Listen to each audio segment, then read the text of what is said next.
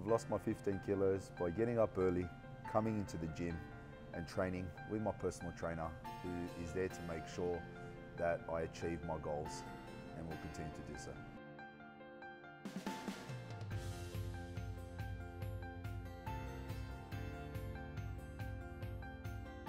No, I don't believe it's all exercise.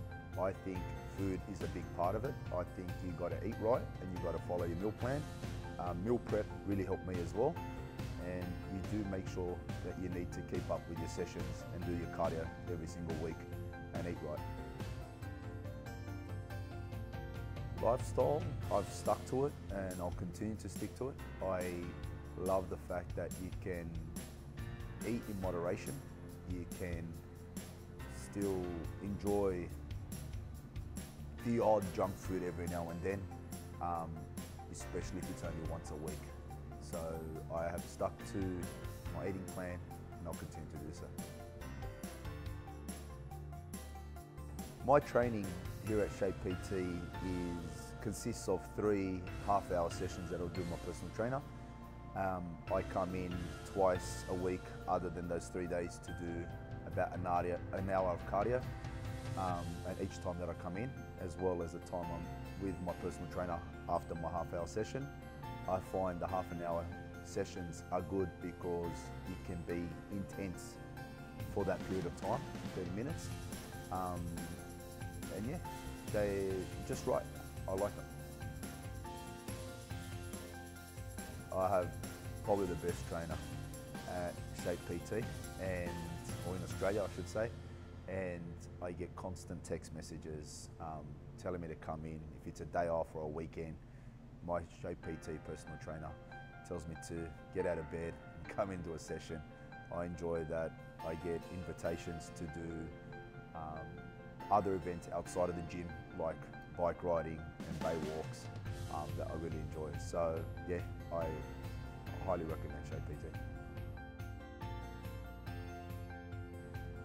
I don't do any group classes at Shape PT. I'm more of a one-on-one person. I like the personal interaction. Um, I haven't done a, a, group class at Shape PT or anywhere else for that matter.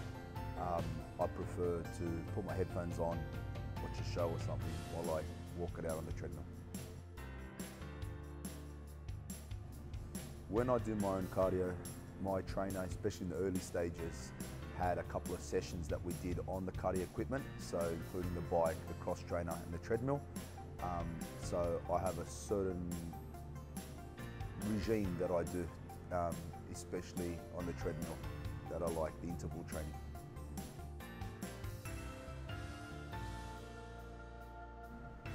I don't find any excuses for not coming to Shape PT and especially keeping up with the cardio and keeping up with my sessions.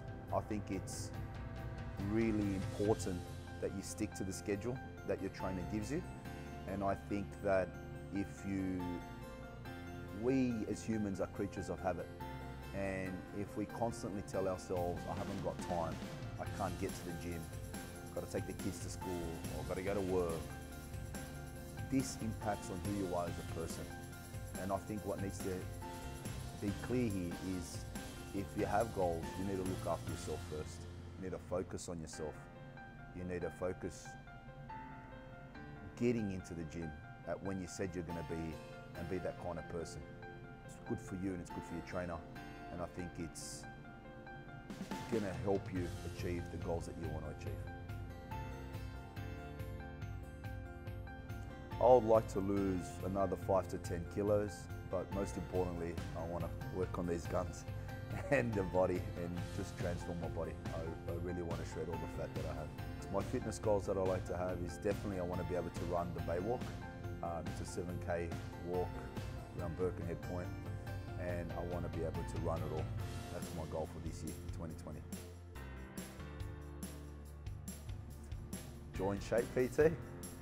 Shape PT gives you that personal touch and it is small enough to treat every member like family. And that's what I love about coming to Shape PT.